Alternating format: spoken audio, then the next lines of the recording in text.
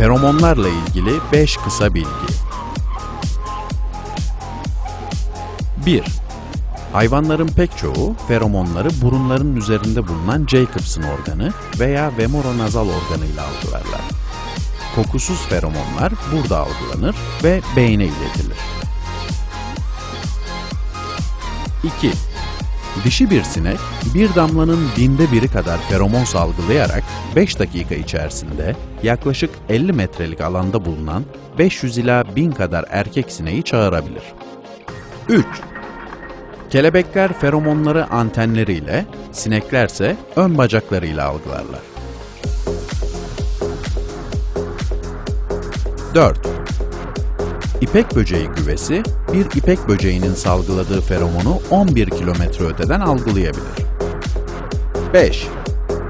Bombay kelebeği tek seferde 10 üzeri 18 erkek kelebeği etkileyebilecek kadar feromon üretebilir.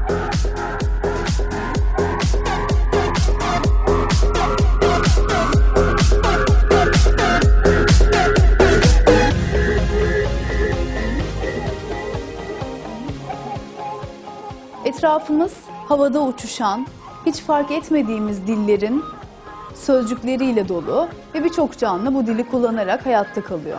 Neslini devam ettiriyor, yönünü buluyor ya da düşmanlarından saklanıyor. Allah canlıların arasında iletişim kurmalarını sağlayacak muhteşem bir dil yaratmıştır.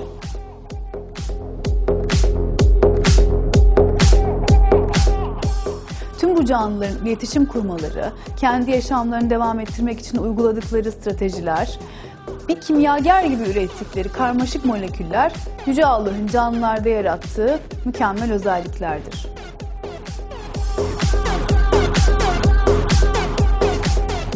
Kovmuş şeytandan Allah'a sığınırım. Yedi gök, yer ve bunların içindekiler onu tesbih eder. Onu övgüyle tesbih etmeyen hiçbir şey yoktur. Ancak siz onların tesbihlerini kavramıyorsunuz. Şüphesiz o halim olandır, bağışlayandır.